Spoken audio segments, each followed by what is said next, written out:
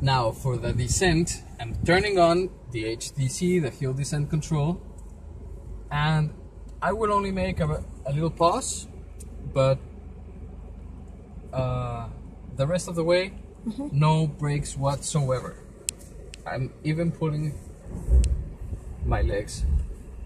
I'm not touching the brakes, and the car is braking on its own. But it's not only braking in general; it's braking on a specific ti- tire, the one that might be slipping, Okay. and we can hear it. Yes. At this point, I'll just make a full stop so we don't go in too hot because it's getting steeper, Steeper every go. time we go we drive uh, by it. So no brakes at all. Only input in the steering Wow. and we're safely down. It only works if we are in Four high. or mhm. four low, and the only difference will be how fast we're going. Okay.